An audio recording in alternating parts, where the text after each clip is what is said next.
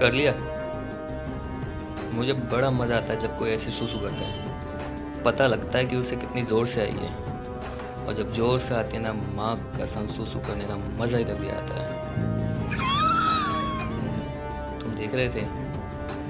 ये सब मैं पंद्रह मिनट तक अपना सूसू रोक सकता हूँ। बाथरूम को छुप के से वापस आ सकता हूँ।